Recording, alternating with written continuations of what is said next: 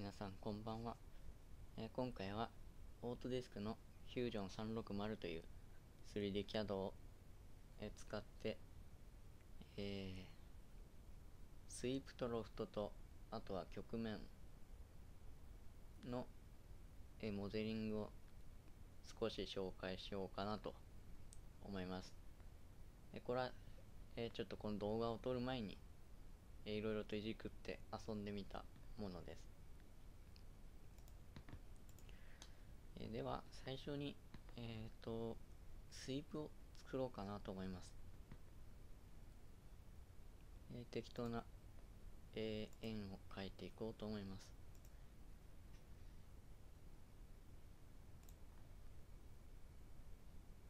えっ、と、円を描いたら、ストップスケッチを選択して、で次にえーとプラインを選択します。ちょっとこれをツールバーに加えておきましょう。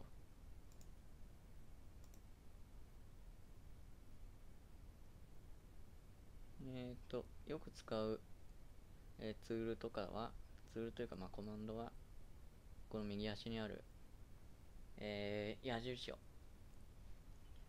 クリックすればツールバーに表示されますえーでスプラインでこの面を選択して適当に書きます。うん。でストップスケッチ。えーで、えースイープをやります。その前にちょっとエクストルードをやると、えーどうなるかこうなります。で断面から垂直に、えー立体を作ります。でスイープを使いますと、えープロファイル断面を選択して、えーパス中心線ですね。これを、えー先ほど書いたスプラインにします。でえっ、とここのディスタンスというのは、まあ、ここでもいじれるんですけど、えーどこまでパスに沿ってえースイープ形状を作るかっていうのをこれでやります。レルは平行にやるやつだったかな。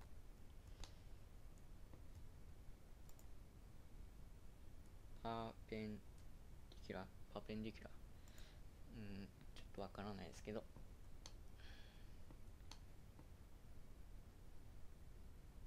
うん。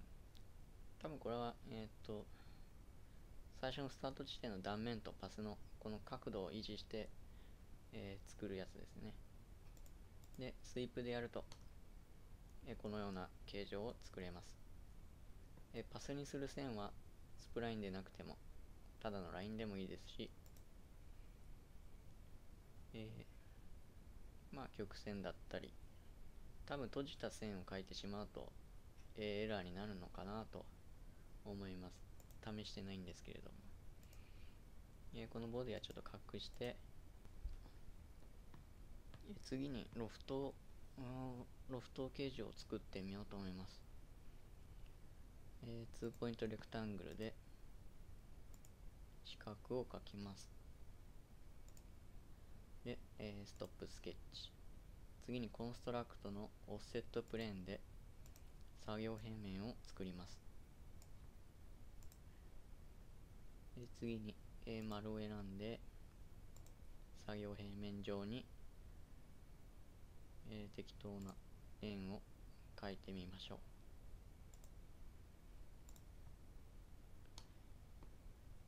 えーでこれで、えーロフトを選ぶとプロファイルを選択で断面を複数選択します、えーそうするとこのようになります。うん。スワッうん。ディレクションコントロールあーなるなるほどと言って口で説明するのがちょっとできないんですけれど。あー。フリーディレクションコントロール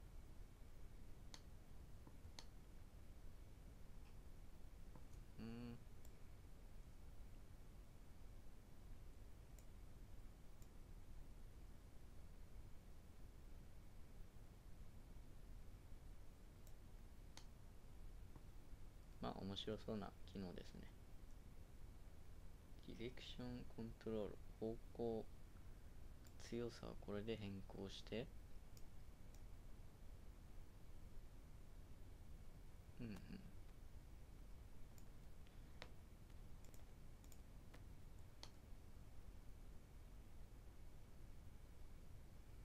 ああまあこんな感じで作りましたね。で、えーロフト形状についてもう少し、えー書きたいのがありまして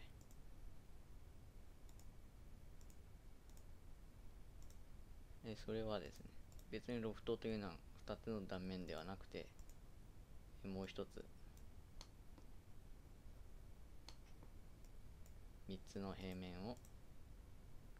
使うことができます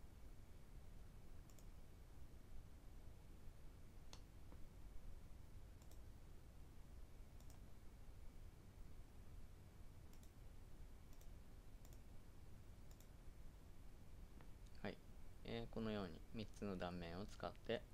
えロフト形状を作りました。えーとこれはフリーからディレクションコントロールにすると多分これ断面の強さだと思うんですけどね。この断面の影響を強く受けるか受けないかっていう。いやでもこれはプロファイル1おなんだこれああ。ああ。うんうん。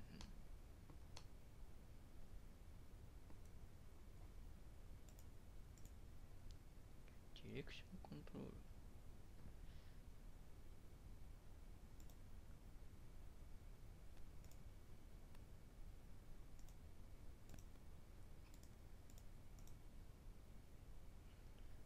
まいちまだディレクションコントロールの使い方がわからないですけど、まあ、普通に考えればフリーの、えーオプションでやれば